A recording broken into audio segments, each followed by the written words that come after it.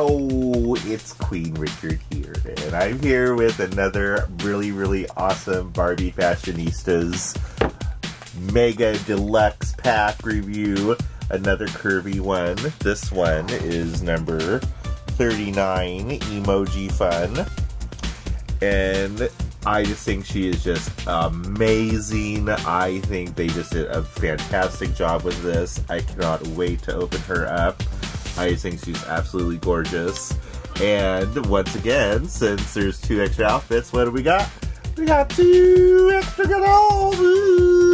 So let's go ahead and open up this bad boy up and see what she's all about. Okay, so I got uh, the doll out of the box and all the clothes on the other models, and OMG, I just love this set. Okay, so let's start with her. Now, she very much reminds me of the first uh, curvy Barbies I, I got. That was the other African American one. Um, she actually looks like she could be like her sister. uh, but her hair is just gorgeous. It reminds me so much of hers. But my one complaint, Mattel, is you put these glasses on her. She is so beautiful. Look at her. I think she's so pretty. I just, I, I mean, these glasses are cool, but I, I don't know. I just, I just think she looks better without them. Anyway, I just love her look. I love her lipstick. They're like a really cool burgundy color. And this is a new thing that Mattel seems to be doing with these dolls, and it's this new, like, printed on denim look. And I have some other stuff with their curvy ones that's like this, but this is the first vest. And so this is the emoji, emoji fun, whatever. So there's a unicorn and a diamond, and a cloud with a lightning bolt and a star, and a cool little flower. Then on this side there's a heart and another lightning bolt, and a smiley face with with a rainbow coming out of it, coming into a ice cream cone with a flower, and then B for Barbie. And that comes off, and I'm glad that's, this is at least a two-piece, so this is a cool black and yellow dress that's kind of frilly on the bottom, and it's a halter dress.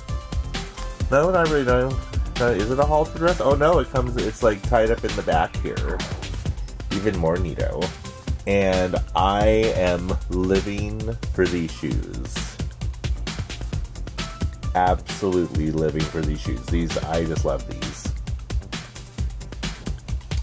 And she has a very, very, very cute little pink bag. I think she's just so beautiful. Oh my gosh.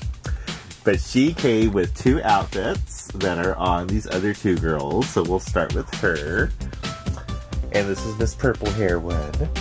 And she has this cool double pink striped t-shirt with another like denim skirt that's very form-fitting and it's elastic up here. And I just paired her with these shoes, and yes, I know they're two different colors of pink. Susumi.